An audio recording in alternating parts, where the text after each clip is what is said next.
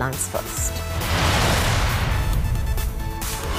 BJP Legislature Party meeting to pick new Gujarat Chief Minister. 3 p.m. Union Minister Mansukh Mandavia and Gujarat Deputy Chief Minister Nitin Patel amongst the front runners. Union Ministers Pralhad Joshi and Narendra Singh Tomar being sent as central observers. Countdown to Battle of Bhabanipur, BJP's Priyanka Tibrewal to kickstart her campaign today. BJP sets eyes on 40% non-Bengali speaking voters in the constituency to take on Mamata. Maharashtra Chief Minister promises fast-track trial in Mumbai rape case, and instruct cops to file charge sheet in a month's time. Probe the last year's Kozhikode plane crash finds pilot at fault, notes that role of systemic failure cannot be overlooked.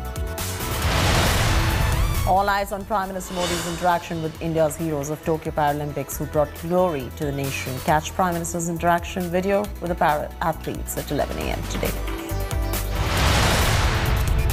US mourns 9-11 victims at the 20th anniversary of worst terror attack on the American soil. President Biden, former Presidents Barack Obama and Bill Clinton joined relatives of victims and first responders in a moment of silence.